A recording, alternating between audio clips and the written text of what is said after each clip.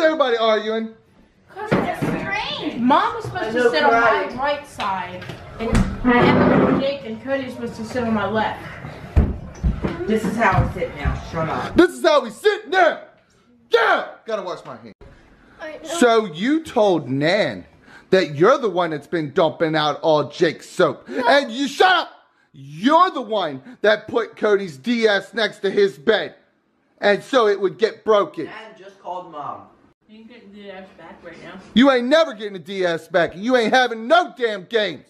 All week or nothing. You ain't going outside, nothing. And you are writing 400 damn sentences.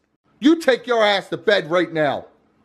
I'm very disappointed in you, young man. Very disappointed. And bring that damn tablet up here, too. What the fuck?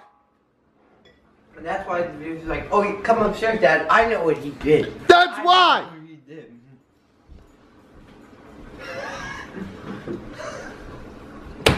That's hilarious. Put that in the good. It's not hilarious.